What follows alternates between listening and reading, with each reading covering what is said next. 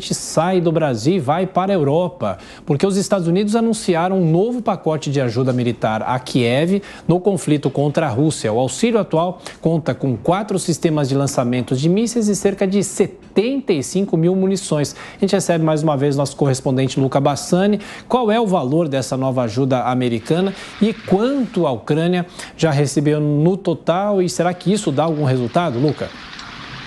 Pois é, Tiago, que a gente tem visto é que os americanos e os europeus, de maneira geral, têm investido maciçamente na sua ajuda militar à Ucrânia, principalmente no último mês, o mês de julho. A gente viu que ontem foi anunciado, então, o envio de um auxílio de 550 milhões de dólares em armamentos, que serão revertidos principalmente em mísseis de longo alcance e mais de 75 mil munições. Nesse quesito, a gente vê que os americanos querem dar à Ucrânia uma chance de luta na região do Donbass, onde os russos fazem, por enquanto, uma pausa estratégica e assim possam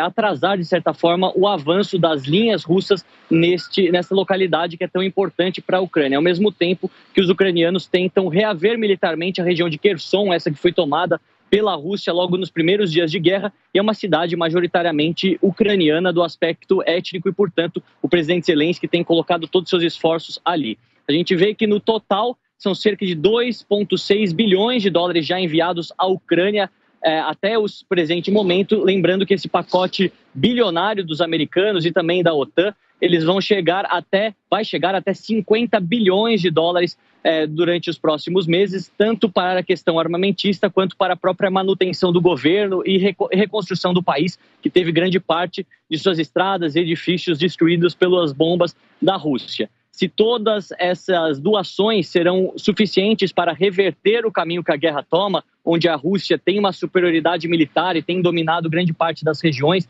cerca de 20% do território ucraniano, ainda não se sabe, mas aquilo que se observa nas últimas semanas é que a velocidade dos russos tem sido menor em, é, em relação às primeiras é, semanas, primeiros meses de guerra, ao mesmo tempo que os ucranianos têm podido também reaver algumas regiões importantes. Obviamente que toda essas todas essas repercussões vamos trazer aqui para vocês em primeira mão, à medida também que novos armamentos forem chegando e, consequentemente, novas batalhas forem travadas por todo o território ucraniano.